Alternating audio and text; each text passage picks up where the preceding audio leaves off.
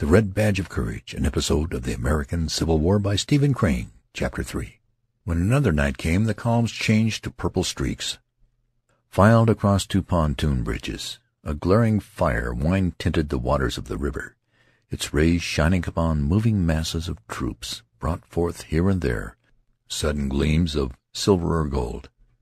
Upon the other shore a dark and mysterious range of hills was curved against the sky. The insect voices of the night sang solemnly. After this crossing the youth assured himself that at any moment they might be suddenly and fearfully assaulted from the caves of the lowering woods. He kept his eyes watchfully upon the darkness. But his regiment went unmolested to a camping place, and the soldiers slept the brave sleep of wearied men. In the morning they were routed out with early energy, and hustled along a narrow road that led deep into the forest. It was during this rapid march that the regiment lost many of the marks of a new command. The men had begun to count the miles upon their fingers, and they grew tired. "Sore feet and damn short rations, that's all," said the loud soldier. There was perspiration and grumblings. After a time they began to shed their knapsacks. Some tossed them unconcernedly down, others hid them carefully, asserting their plans to return for them at some convenient time. Men extricated themselves from thick shirts. Presently few carried anything but their necessary clothing blankets, haversacks, canteens, and arms and ammunition. "You can now eat and shoot," said the tall soldier to the youth. "That's all you want to do." There was a sudden change from the ponderous infantry of theory to the light and speedy infantry of practice. The regiment, relieved of a burden, received a new impetus but there was much loss of valuable knapsacks and, on the whole, very good shirts. But the regiment was not yet veteran-like in appearance. Veteran regiments in the army were likely to be very small aggregations of men. Once, when the command had first come to the field, some perambulating veterans, noting the length of their columns, had accosted them thus: "Hey, fellers, what brigade is that?" And when the men had replied that they formed a regiment, and not a brigade, the older soldiers had laughed and said, "Oh, God!" Also, there was too great a similarity in hats. The hats of a regiment should properly represent the history of headgear for a period of years, and moreover there were no letters of faded gold speaking from the colors. They were new and beautiful, and the color-bearer habitually oiled the pole. Presently the army sat down to think. The odor of the peaceful pines was in the men's nostrils. The sound of monotonous axe blows rang through the forest, and insects, nodding on their perches, crooned like old women. The youth returned to his theory of a blue demonstration. One gray dawn, however, he was kicked in the leg by the tall soldier, and then, before he was entirely awake, he found himself running down a wood road in the midst of men who were panting from the first effects of speed. His canteen banged rhythmically upon his thigh. His musket bounced a trifle from his shoulder at each stride and made his cap feel uncertain upon his head. He could hear the men whisper jerky sentences. "Say, what's this all about? What the thunder we skedaddling this way for? Billy, keep off my feet! You run like a cow!" And the loud soldier's shrill voice could be heard. "What the devil they in such a hurry for?" The youth thought the damp fog of early morning moved from the rush of a great body of troops. From the distance came a sudden spatter of firing. He was bewildered. As he ran with his comrades he strenuously tried to think, but all he knew was that if he fell down those coming behind would tread upon him. All his faculties seemed to be needed to guide him over and past obstructions. He felt carried along by a mob. The sun spread disclosing rays and one by one regiments burst into view like armed men just born of the earth.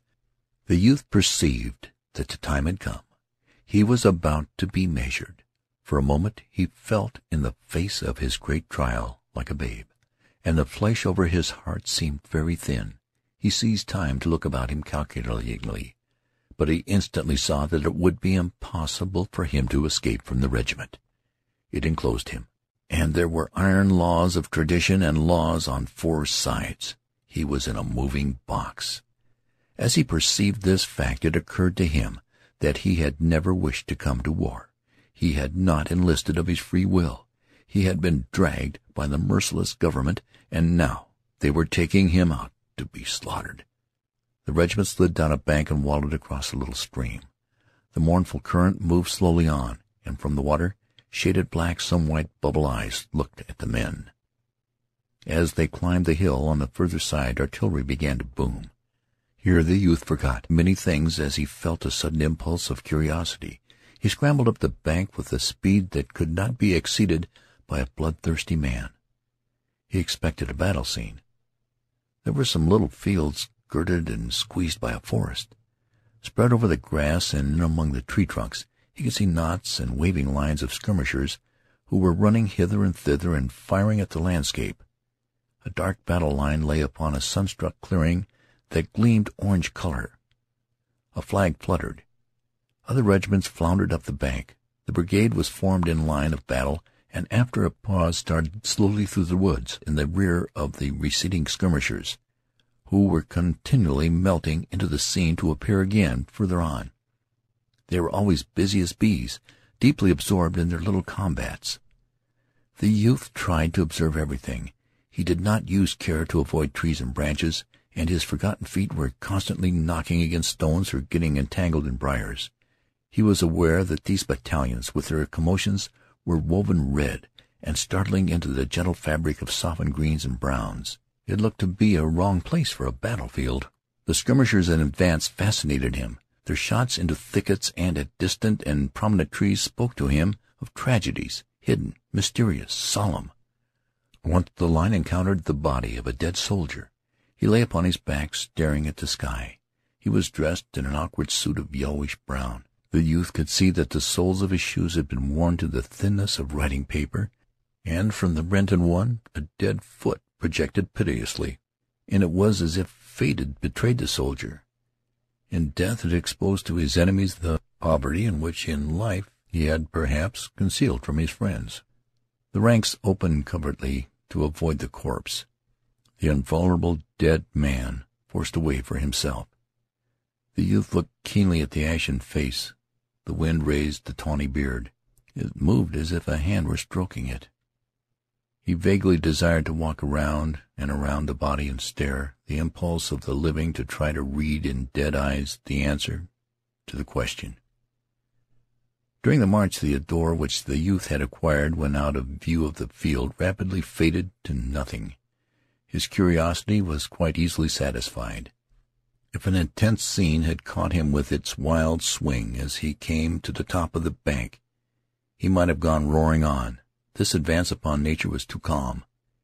He had opportunity to reflect. He had time in which to wonder about himself and to attempt to probe the sensations. Absurd ideas took hold upon him. He thought that he did not relish the landscape. It threatened him. A coldness swept over his back, and it is true that his trousers felt to him that they were no fit for his legs at all. A house standing placidly in distant fields had to him an ominous look. The shadows of the woods were formidable. He was certain that in the vista there lurked fierce-eyed hosts. The swift thought came to him that the generals did not know what they were about. It was all a trap. Suddenly those close forests would bristle with rifle barrels, iron-like brigades would appear in the rear. They were all going to be sacrificed. The generals were stupids. The enemy would presently swallow the whole command. He glared about him, expecting to see the stealthy approach of his death. He thought that he must break from the ranks and harangue his comrades. They must not all be killed like pigs, and he was sure it would come to pass unless they were informed of these dangers. The generals were idiots to send them marching into a regular pen. There was but one pair of eyes in the corps. He would step forth and make a speech. Shrill and passionate words came to his lips. The line, broken into moving fragments by the ground, went calmly on through the fields and woods. The youth looked at the men nearest him, and saw, for the most part, expressions of deep interest, as if they were investigating something that had fascinated them. One or two stepped with overvaliant airs, as if they were already plunged into war. Others walked as upon thin ice. The greater part of the untested men appeared quiet and absorbed. They were going to look at war, the red animal, war, the blood-swollen god, and they were deeply engrossed in this march. As he looked the youth gripped his outcry at his throat. He saw that even if the men were tottering with fear they would laugh at his warning. They would jeer him, if practicable pelt him with missiles. Admitting that he might be wrong, a frenzied declamation of the kind would turn him into a worm. He assumed then the demeanor of one who knows that he is doomed alone to unwritten responsibilities. He lagged, with tragic glances at the sky. He was surprised presently by the young lieutenant of his company, who began heartily to beat him with a sword, calling out in a loud and insolent voice, "Come, young man, get up in the ranks. No sulking'll do here." He mended his pace with suitable haste, and he hated the lieutenant, who had no appreciation of fine minds. He was a mere brute. After a time the brigade was halted in the cathedral light of a forest. The bushy skirmishers were still popping. Through the aisles of the wood could be seen of the floating smoke from the rifles. Sometimes it went up in little balls, white and compact. During this halt many men in the regiment began erecting tiny hills in front of them. They used stones, sticks, earth, and anything they thought might turn a bullet. Some built comparatively large ones, while others seemed content with little ones. This procedure caused a discussion among the men. Some wished to fight like duelists, believing it to be correct to stand erect and be, from their feet to their foreheads, a mark. They said they scorned the devices of the cautious. But the others scoffed in reply and pointed to the veterans on the flanks who were digging at the ground like terriers. In a short time there was quite a barricade along the regimental fronts. Directly, however, they were ordered to withdraw from that place. This astounded the youth. He forgot his stewing over the advance movement. "Well, then, what did they march us out here for?" he demanded of the tall soldier. The latter with calm faith began a heavy explanation, although he had been compelled to leave a little protection of stones and dirt, to which he had devoted much care and skill. When the regiment was aligned in another position, each man's regard for his safety caused another line of small entrenchments. They ate their noon meal behind a third one. They were moved from this one also.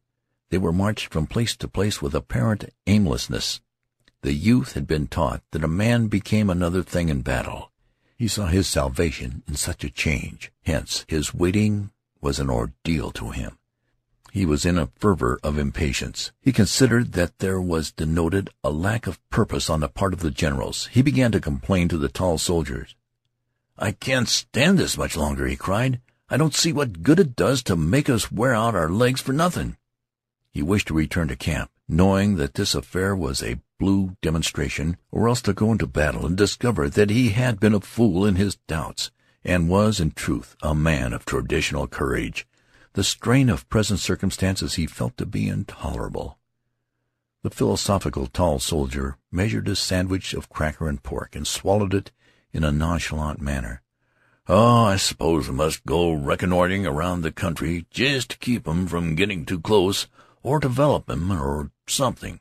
"Huh?" said the loud soldier. "Well," cried the youth, still fidgeting, "I'd rather do anything most than go tramping around the country all day doing no good to nobody and just tiring ourselves out." "So would I," said the loud soldier. "It ain't right, I tell you. If anybody with a sense was a runnin' this army it—" "Oh, shut up!" roared the tall private. "You little fool! You damn little cuss! You ain't had that there coat or them pants on for six months, and yet you talk as if—" "Well, I'm going to do some fighting anyway," interrupted the other. "I didn't come here to walk. Could have walked to home, round and around the barn, if I just wanted to walk." The tall one, red-faced, swallowed another sandwich, as if taking poison in despair. But gradually, as he chewed, his face became again quiet and contented. He could not rage in fierce argument in the presence of such sandwiches. During his meal he always wore an air of blissful contemplation of the food he had swallowed. His spirit, then, seemed to be communing with the viands. He accepted new environment and circumstances with great coolness, eating from his haversack at every opportunity. On the march he went along with the stride of a hunter, objecting to neither gait nor distance, and he had not raised his voice when he had been ordered away from three little protective piles of earth and stone each of which had been an engineering feat worthy of being made sacred to the name of his grandmother. In the afternoon the regiment went out over the same ground it had taken in the morning. The landscape then ceased to threaten the youth. He had been close to it and had become familiar with it. When, however, they began to pass into a new region, his old fears of stupidity and incompetence reassailed him. But this time he doggedly let them babble. He was occupied with his problem, and in his desperation he concluded that the stupidity did not greatly matter. Once he thought he had concluded that it would be better to get killed directly and end his troubles. Regarding death thus out of the corner of his eye, he conceived it to be nothing but rest, and he was filled with a momentary astonishment that he should have made an extraordinary commotion over the mere matter of getting killed. He would die. He would go to some place where he would be understood. It was useless to expect appreciation of his profound and fine senses from such men as the lieutenant. He must look to the grave for comprehension. The skirmish fire increased to a long clatter of sound. With it was mingled a far-away cheering. A battery spoke. Directly the youth would see the skirmishers running. They were pursued by the sound of musketry fire. After a time the hot, dangerous flashes of the rifles were visible. Smoke clouds went slowly and insolently across the fields like observant phantoms. The din became crescendo, like the roar of an oncoming train. A brigade ahead of them and on the right went into action with a rending roar. It was as if they had exploded, and thereafter it lay stretched in the distance beyond a long gray wall that one was obliged to look twice at to make sure it was smoke. The youth, forgetting his neat plan of getting killed, gazed spellbound. His eyes grew wide and busy with the action of the scene. His mouth was a little ways open. Of a sudden he felt a heavy and sad hand laid upon his shoulder. Awakening from his trance of observation, he turned to behold the loud soldier. "It's my first and last battle, old boy," said the latter, with intense gloom. He was quite pale, and his girlish lip was trembling. Murmured the youth, in great astonishment. "It's my first and last battle, little boy," continued the loud soldier. Something tells me What? I'm a gone coon this first time, and I want you to take these here things to my folks." He ended in a quavering sob of pity for himself. He handed the youth a little packet, done up in a yellow envelope. "Why, what the devil—" began the youth again. But the other gave him a glance as from the depths of a tomb, and raised his limp hand in a prophetic manner, and turned away. End of chapter three.